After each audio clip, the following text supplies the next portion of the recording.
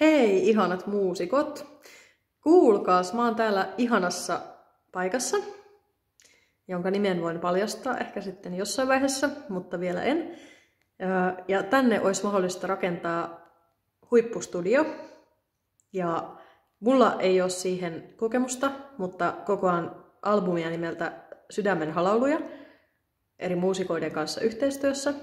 Monet on jo luvanneet siihen kappaleitaan hyvän tekeväisyysalbumi, jolla on tarkoitus ilahduttaa muun muassa ikäihmisiä niin, että he saa kokea rakkauden ja turvan tunteita ja toivoa.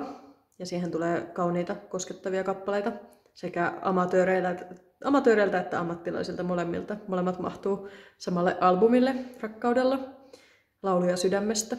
Ja niitä olisi tarkoitus äänittää täällä ihanassa talossa, josta on vain puolen tunnin ajomatka Helsingistä ei kun siis Jonne.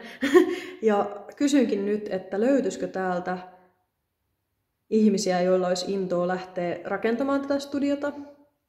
Ne, ketkä tässä auttaa tässä projektissa, niin saa sitten maksuttomia studioaikoja, äänitysaikoja.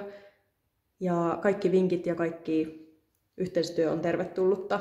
Ja täällä on tarkoitus pitää myös biisintekoleirejä sitten kesemmällä, esimerkiksi metsän sylissä. Kanootti retkellä kanotin ää, päällä jokea pitkin lipuen ja siinäkin voi soitella kitaraa ja muuta kaikkea. Kaikkea semmoista kaunista, kauniita kohtaamisia on tänne tarkoitus luoda. Ja tosiaan ollaan rakentamassa semmoista, ähm, no mielellään sekä ihan ulkorakennuskin, erillinen rakennus, missä saa musisoida ja möykätä vaikka keskellä yötä, ettei häiritse asukkaita, koska tästä muodostuu myös asumisyhteisö. Huikeat, ihanat, sydämelliset asukkaat on löytynyt. Ja mutta mahdollisesti myös sisästudio, en ole ihan varma, että kummin. Arkkitehti on löytynyt siihen. Me luodaan siis semmoinen pyöreä ää, rakennus, missä on keskellä kiuas, eli sitä voi käyttää joko ää, pihasaunana, tai sitten jos lämmittää vähän vähemmän, niin sitten sitä voi käyttää ihan semmoisena yhteisenä olohuoneena ja musisointihuoneena. Ja tehdä myös äänihoitoa siellä ja kaikkea ihanaa. Ja äänittää musiikkia.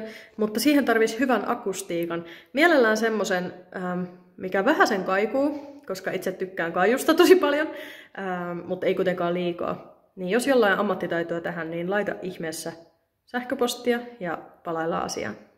Ja toivon täyteistä tätä vuotta teille kaikille. Mahdollisuuksia voi kyllä avautua, vaikka nyt elätäänkin vaikeita aikoja.